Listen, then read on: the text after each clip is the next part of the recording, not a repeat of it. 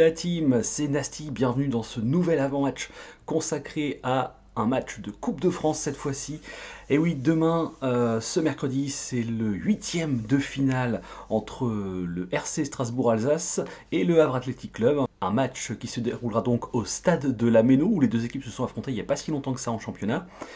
Et un match euh, bah, assez important pour ciel et marines parce que ça fait 11 ans déjà hein, que les ciels et marines n'avaient plus atteint ce stade de la compétition. Les huitièmes de finale, c'est pas quelque chose qu'on voit très souvent. Donc ça fait plus d'une décennie nous qu'on n'avait pas atteint ce niveau-là de compétition dans la plus belle des coupes. Et puis un match qui pourrait s'avérer historique puisqu'en cas de victoire, les ciels et marines atteindraient les quarts de finale pour la première fois depuis 64 ans. La dernière fois que le hack a touché les quarts de finale de France, c'était en 1960, l'année juste après le titre d'ailleurs, hein, après la victoire en 59. Donc ça fait très très très longtemps. D'ailleurs en 1960 on avait même euh, atteint les demi-finales. Euh, et depuis, bah depuis c'est une longue route très pénible, faite de déceptions souvent, d'éliminations parfois euh, humiliantes contre des équipes de niveau inférieur. Euh, parfois même de niveau très inférieur, soyons honnêtes. Euh, mais voilà, on retrouve un petit peu euh, les sommets de cette compétition. On est dans le top 16, hein, puisqu'on est en huitième de finale pour cette année.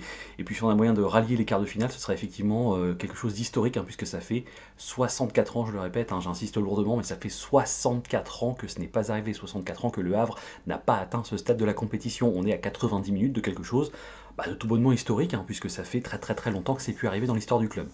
La bonne nouvelle, c'est que les deux équipes euh, bah, euh, sont de même niveau. Hein. En championnat, Strasbourg a 25 points, Le Havre en est à 24.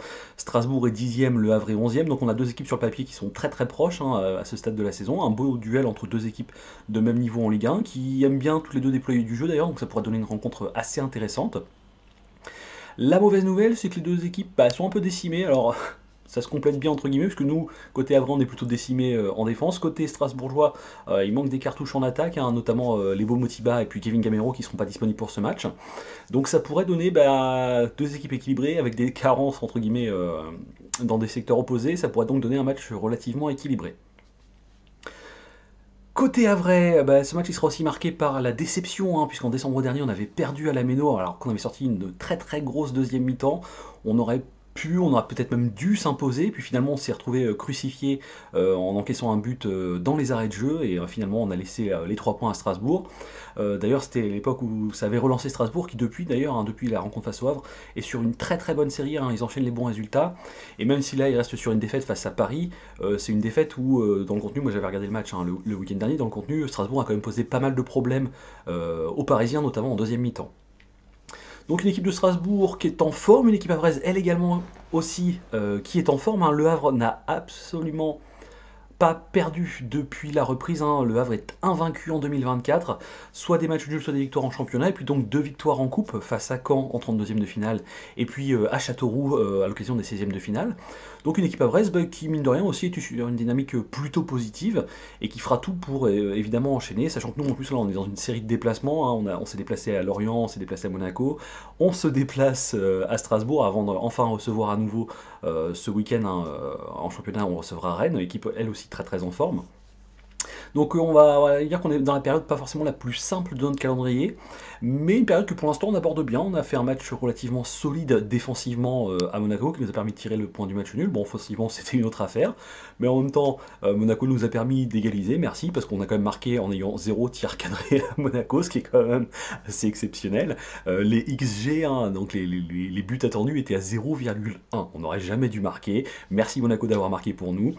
Euh, ça nous a permis de repartir avec le point de nul. Par contre, ce qu'on était venu faire, c'était défendre, et on l'a très bien fait, à part euh, sur l'action euh, où, Kevin Gamero a pu marquer, où là, effectivement, c'était dû à une perte de balle dans notre milieu de terrain. Globalement, on a été extrêmement solide derrière. La question donc c'est quelle équipe va pouvoir présenter Le Havre? Parce que bah, l'équipe mine de rien n'est pas tout à fait la même que celle qui était disponible le, week-end dernier. Il y a des nouvelles absences, il y a aussi des retours puisque euh, la Guinée a été éliminée de la Cannes, donc ça nous amène euh, le retour de Mohamed Bayo en attaque et puis d'Abdoulaye Touré au milieu de terrain. Mais Abdoulaye Touré ne sera pas disponible pour ce match parce que justement euh, des suites de sa blessure à la Cannes, le staff apparemment ne veut pas prendre le risque de le remettre tout de suite dans la compétition à fond, donc il devrait rester au repos et éventuellement aux soins. Par contre c'est derrière, au niveau défensif, que le Havre là va faire face à pas mal de problèmes. Christopher Operi, notre latéral gauche, est suspendu pour ce match. Et euh, Sanganté et Lioris sont eux indisponibles des suites de coups reçus euh, à Monaco justement. Sanganté d'ailleurs était sorti en fin de match euh, blessé.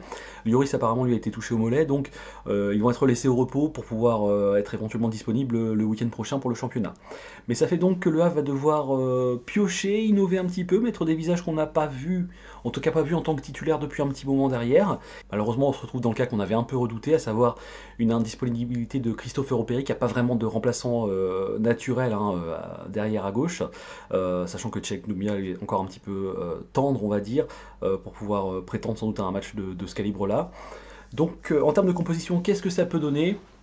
Eh ben, je pense que ça va être le moment de ressortir notre couteau suisse magique, hein, suis Casimir, pour pouvoir dépanner sur le poste de Christopher Opéry. Il l'a déjà fait plusieurs fois, donc je pense qu'il est tout à fait capable de le refaire.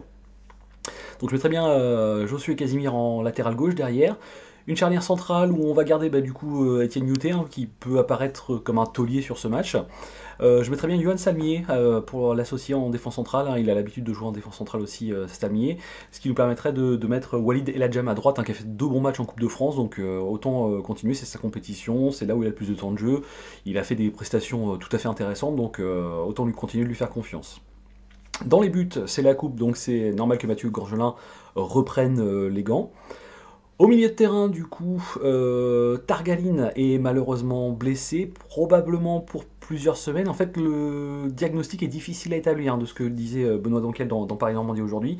Diagnostic difficile à établir, euh, on ne sait pas trop ce qu'il a, on ne sait pas trop si c'est grave, on ne sait pas trop si ça va nécessiter une intervention. Donc bah, forcément les précautions c'est de ne pas le mettre sur le terrain en attendant, ce qui est tout à fait logique. Mais du coup, euh, Targaline n'est pas disponible, euh, Abdoulaye Touré, qui est notre autre profil défensif au milieu, n'est pas disponible. Donc, a priori, assez naturellement, on devrait voir euh, Rasoulendia titularisé. Ça tombe bien, il est frais, il a assez peu joué euh, ces dernières semaines. Il a fait un match que j'ai trouvé plutôt correct, hein, sans grandes erreurs, pas flamboyant non plus, mais un match plutôt correct face à Monaco. Ça a dû le rassurer, ça a sans doute rassuré le staff, mais en tout cas, ça m'a rassuré de le voir faire un, match décent. Donc Rasoul Ndiaye titulaire, ça me paraît cohérent. À qui est-ce qu'on peut l'associer? Euh, moi, je mettrais bien Keshta pour une patte un peu plus offensive, un peu plus technique. Euh, avec lui, j'aurais tendance à laisser Kouziev au repos. Pourquoi pas le faire rentrer en, euh, en métronome en deuxième partie de match s'il y a besoin un petit peu de temporiser, de, de, voilà, d'amener de, l'expérience au milieu pour gérer pourquoi pas le, déroulement du match. Donc j'aurais tendance à laisser Kouziev un petit peu au repos, se reposer, parce que mine de rien il donne beaucoup, hein. c'est un, des joueurs, sinon le joueur qui court le plus en Ligue 1. Donc ça peut être bien peut-être de, ne pas le titulariser sur ce match-là qui, respire un peu, parce qu'on rejoue un samedi, mine de rien. Et j'ai bien envie de voir euh, Ayou titulaire, moi j'aimerais bien euh, voir voilà, sur, euh, sur une titularisation ce qu'il est capable de produire, c'est-à-dire vraiment avec la confiance du staff dès le début du match, ce que ça peut donner. Donc je mettrais bien un milieu avec Rasoul Ndiaye, André Ayou et Yacine Keshta. Devant, donc, on a le retour de Bayo, qui apparemment est en forme. Il a marqué hein, d'ailleurs euh, en huitième de finale et en quart de finale lors de la Coupe d'Afrique des Nations pour son pays. Donc, euh, pourquoi pas le mettre? Ça pourrait permettre de faire souffler Sabi, hein, qui a été beaucoup sollicité euh, au mois de janvier et de février, justement avec, la Cannes. Ça pourrait permettre de faire souffler Sabi un petit peu, de pourquoi pas le faire rentrer un peu plus tard dans le match. Et je mettrais bien donc à droite Loïc Nego, en ailier à droite, puisque Casimir, du coup, se retrouverait déporté. Et euh, je sens très bien Antoine Joujou en titulaire, il a fait des bonnes choses en Coupe de France, euh, il a fait une entrée qui était assez intéressante. Alors contre Monaco, il a perdu des balles, oui, mais il a fait quand même pas mal d'appels intéressants, donc avec un autre type de défense, peut-être que ça peut lui permettre de, voilà, de, se montrer plus à son aise.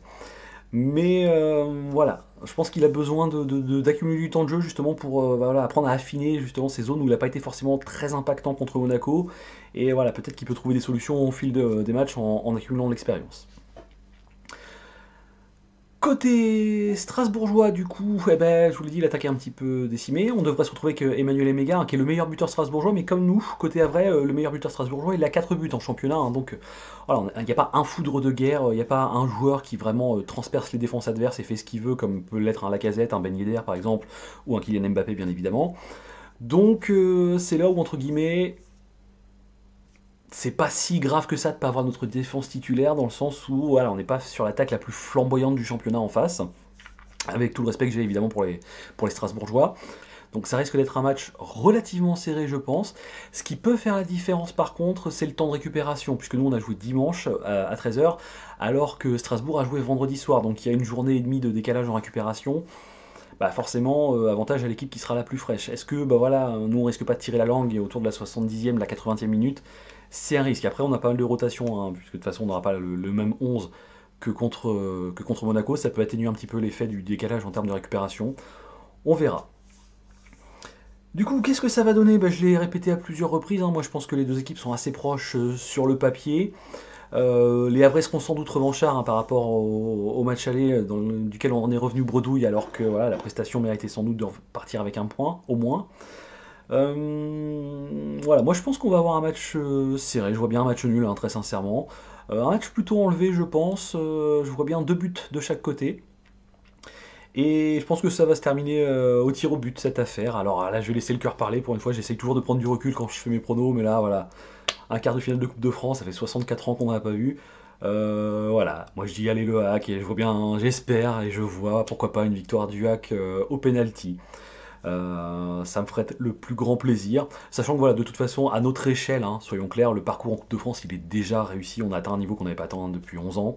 Euh, après, voilà, c'est dommage d'être aux portes d'une épopée historique. Euh, ça peut faire marrer certains autres supporters hein, de, voir un quart de finale de Coupe de France comme quelque chose d'historique, mais à nouveau, je le répète, hein, nous, ça fait plus de 60 ans que ça nous est pas arrivé. Donc euh, c'est clair que ça nous permettra en plus de, voilà, de, vu l'effervescence qu'il y a autour du club cette année, vu le parquage qui apparemment s'annonce encore bien bien bien chargé à Lille, euh, les supporters ils sont en demande de ça, ils sont en demande d'épopée, ils sont en demande de vivre des émotions, ce serait vraiment bien de pouvoir décrocher un quart de finale, et alors ce serait vraiment génial, je croise les bois, je touche du doigt, d'avoir un quart de finale à Océane, ça ce serait magnifique. Voilà donc les amis, c'est ce à quoi je pense qu'on peut s'attendre pour ce match. Alors je suis pas devin bien évidemment, même si j'avais trouvé le 1-1 face à Monaco, j'en suis assez fier. Euh, mais voilà, voilà ce qui me semble cohérent euh, au vu des forces en présence, voilà ce qui me semble cohérent au vu de l'effectif du hack pour ce match. Quoi qu'il en soit, allez les Hackmen, on espère un beau petit match demain soir, un match en vert, un match intéressant, et si on peut avoir une victoire et une qualification en quart de finale, ça nous fera extrêmement plaisir. Comme d'habitude, n'hésitez pas à liker, n'hésitez pas à commenter, n'hésitez pas à me dire ce que vous pensez de la compo, du prono éventuellement.